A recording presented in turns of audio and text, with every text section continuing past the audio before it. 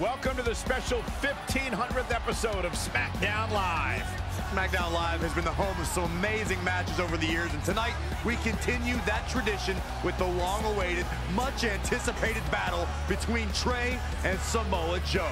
This submission match for the WWE Championship is seven years in the making, going back to Tre's debut when he shocked the WWE Universe and Samoa Joe. But tonight on SmackDown 1500, will Joe finally get his revenge?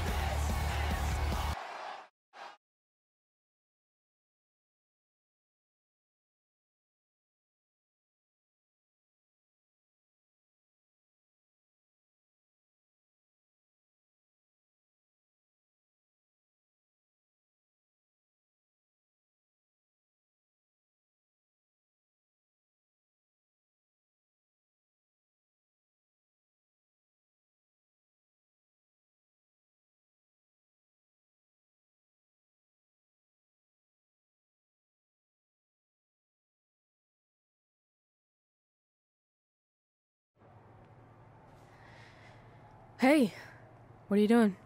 Studying my training footage. I think I actually have a chance tonight thanks to Brooklyn. Yeah, about her. I don't want to get into it again. I need to focus on my match. I actually wanted to apologize. I might have been acting a little crazy lately. A little? Okay, slightly more than a little. I called the animal shelter that Brooklyn said she donated the money to, and turns out she wasn't lying. See? I told you she's changed. I think I just got caught up with us competing against each other in the mixed match challenge. And then I felt like I was losing my best friend to pretty much the worst person I could imagine. But maybe she's not the worst person after all. There's probably some terrible dictators or criminals on death row who are slightly worse. That's very big of you to say that. So you should be cool with the fact that Brooklyn is going to be in my corner tonight, then, right?